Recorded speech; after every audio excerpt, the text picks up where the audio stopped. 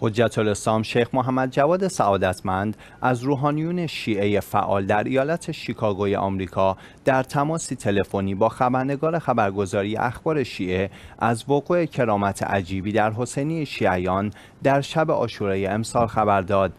وی درباره این کرامت گفت از جمله اقدام‌های صورت گرفته توسط جوانان فعال در این حسینیه آماده کردن گهواره حضرت علی اصغر علیه السلام بود اما در شب آشورا یکی از بانوان فعال در حسینیه بعد از پایان مراسم برای جمع کردن پولهای نظری سراغ گهواره رفت و یک قطر خون تازه در وسط گهواره مشاهده کرد.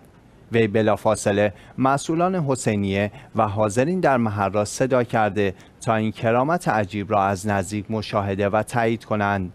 در ادامه با هم تصاویری از این کرامت عجیب را مشاهده می کنیم الله وتعالى إنه اكو أكو أثر واقعي. والفاجعة واقعية.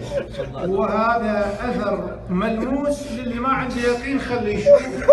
يقين أهل البيت. صلوات الله وسلامه عليهم. نعم إخواني هذا يذكرنا مصيبه الطفل الرضيع يحب الأخوات أنه ما حد خال شيء ابدا.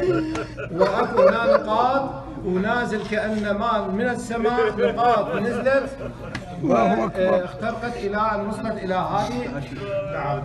اللي اللي يحب يفسر لنا اياها جزاكم الله خير يشوفون هذه كرامة أهل البيت صلوات الله وسلامه عليهم أجمعين.